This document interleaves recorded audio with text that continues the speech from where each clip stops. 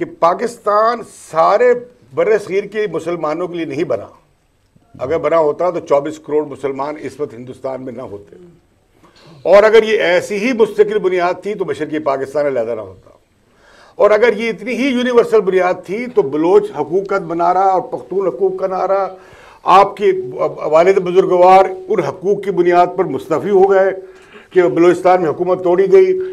ये फिर ये मनाक्षे ना होते और सुबह खुद मुख्तारी के इशूज़ ना होते और आप पोलिटिकल प्लेटफॉर्म ना बनाते तो कहने का मतलब ये है अर्ज़ गुजारिश ये है कि हमारे पाकिस्तान की रियासत में आपका तारीखी पस मंज़र के लोग भी हैं पंजाबी तक तारीखी पस मंज़र के लोग भी हैं सिंधी पस, पस जो कि यहाँ हज़ारा साल से रह रहे हैं।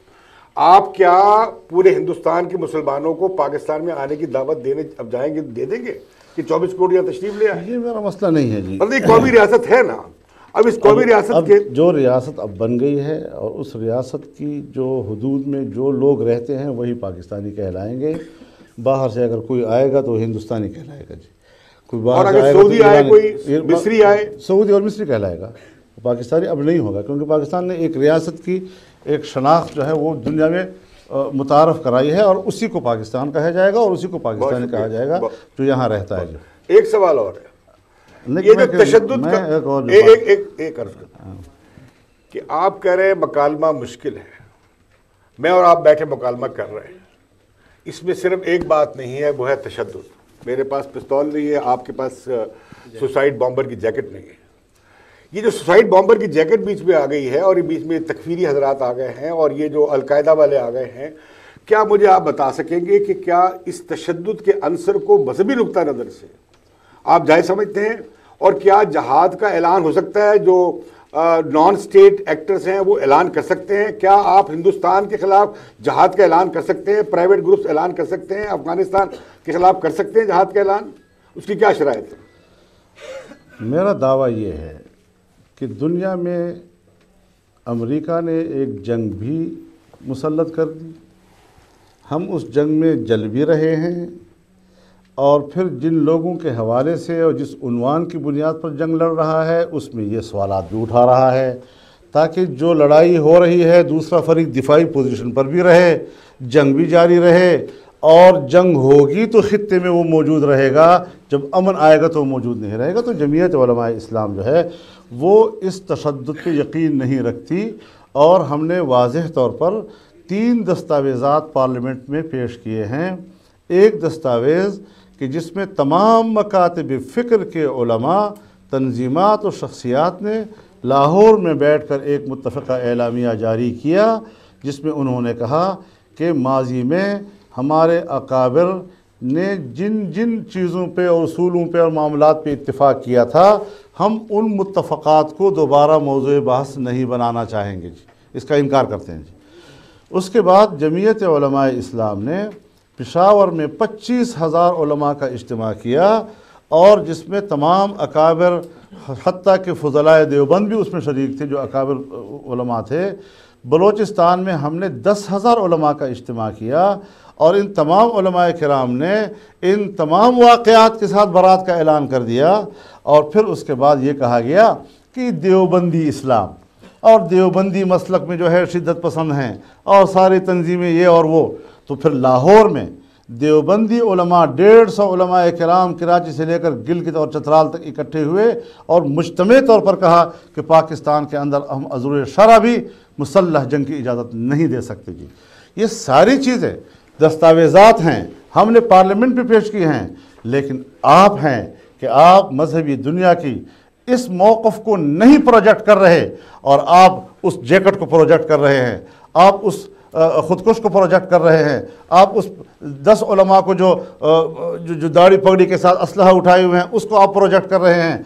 ये जो उस उस छोटे तबके की प्रोजेक्शन है ये आपकी नीयत का निशानदेही करती है कि आप दर हकीकत इस जंग में मज़हब को एक डिफेंसिव पे रखना चाहते हैं और उम्मत मुस्लिमा को दुनिया जो है वो डिफेंसिव पे रखना चाहती है।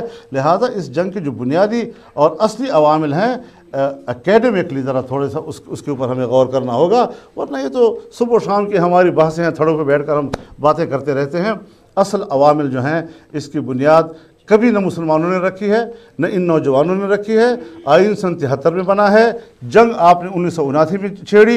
आज आप तहफ़ पाकिस्तान आर्डिनेंस के नाम से ये ला रहे हैं कि 1979 के कानून को तब्दील करना है। और आप इसमें ये लिख रहे हैं कि उस वक्त जो पॉलिसियाँ इख्तियार की गई थी, उसने हमें जंग में डाला है। और उस वक्त से हम हालत जंग में हैं। ये अल्फाज है उनके अंदर। उस वक्त से हम हालत जंग में हैं। ये सारी पॉलिसियाँ किसने बनाई? हमने दुनिया की किस किस एजेंडे पे काम किया? हमने किन किन की खिदमत सर अंजाम दी? कौमी सतह पर कितनी बड़ी बड़ी गलतियाँ तारीख में हमसे हुई? हम उस पर जा ही न रहे। आज भी हम रोज़मर्रा के मामला पर सवाल कर रहे हैं और मारूजी और रोज़मर्रा के मामला पर हम बहस कर रहे हैं। मौलाना, बहुत शुक्रिया इस बात का। हम मैं तो ज़ाती तौर पर अप्रिशिएट करता हूँ जो आपने कहा है कि यहाँ पर अकराम इकट्ठे हुए और उन्होंने तशद को रद्द किया और पाकिस्तान के अंदर जहाद को रद्द किया। ये काबिल एहतराम बात है हम आपकी मुकम्मल इस पर हमायत करते हैं। और ये बात मैं एक नुकते को वाजे कर दूँ ये लफ्ज़ जिहाद जो है ना ना ना मेरी बात सुने। क्योंकि लफ्ज़ जिहाद को रद्द किया ये गलत बात है। जिहाद मेरे जद्दोजहद भी जिहाद है। जिहाद के मानी है कोशिश। और आप जब कोशिश करते हैं एक मैदान में निकल कर और आप अपने आप को हक पे समझते हैं। और आप एलाय कलीमतुल्लाह के लिए करते हैं, क्योंकि एलाय कलीमतुल्लाह के बगैर कोई जंग जो है जिहाद नहीं है। लिहाजा उस हवाले से हम गैर मुसल्ह जद्दोजहद को भी जिहाद के ज़ुमरे में लाते हैं, और मुसल्ह जंग जो है, उसकी हम ज़रूरत नहीं महसूस करते। आज दुनिया जो है ग्लोबल विलेज बन गया है।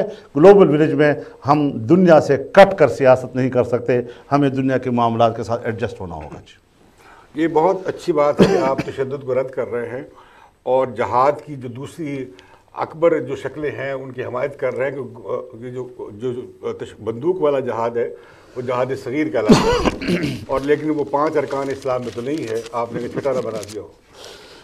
तो वो गुजारिश ये है कि ये जो आप कह रहे हैं कि एक आदमी आता है आके एक मार्केट में अल्लाह का नारा लगाता है नारा तकबीर लगाता है और वो जैकेट फाड़ता है और पचास सौ बंदे औरतें बच्चे जैसे खैबर बाज़ार में हुआ उसे आप क्या करार देंगे? और उन लोगों के बारे में क्या कहेंगे? क्या उसको आप इस्लामी एक्ट करार देंगे? इसकी बहस आप मुझसे न करें ना मैंने अपनी पोजीशन वाजे कर दी। आप तालिबान को पैगाम दे दें कि इम्तियाजा मुनाजरे के लिए तैयार है। तो वो आपको जवाब दे देंगे। वो जवाब वाले कर रहे हैं। अच्छा उससे बढ़ते आप मुझे ये बता एक आखिरी सवाल मैं करूँगा फिर हम हाउस खोल देंगे थोड़ा सा। काफ़ी खोल देंगे। वो ये कि आप कह रहे हैं कि आपकी जो अमेरिका पाकिस्तान जो अमेरिका के हाथ में टूल बना जब माहदे हुए SEATO CENTO cold war period उसके बाद में, हमारे आपके इख्तलाफ में ज़्यादा, बल्कि हम आपके उस्ताद थे, आपके कराम के, क्योंकि आप लोग कॉमनिस्ट के शागिर थे बर सग़ीर में, जब आप लोग बगावत करके गए थे, याद है आपको काला, काले पानी में भी गए थे और मास्को भी गए थे लैरन स्टैलन ग्रांड भी गए थे। उसमें हमें आपसे इतफाक़ है कि पाकिस्तान को अमेरिका का इंस्ट्रूमेंट नहीं बनना चाहिए था और कोल्ड वॉर में इस कैम्प में नहीं जाना आप ये भी ठीक कह रहे हैं हमें उस जंग में नहीं उलझना चाहिए था पाकिस्तान को, इस पर हमें इतफाक आपसे इख्तलाफ नहीं है। और ये बात कि भाई, ये तासर के जी रोशन ख्याली जो है, वो अमेरिका से नथी है, ये भी मैं समझता हूँ, वैसी बात है। हम आपके बारे में या इनके किसी और के बारे में कोई ऐसी बात कहें।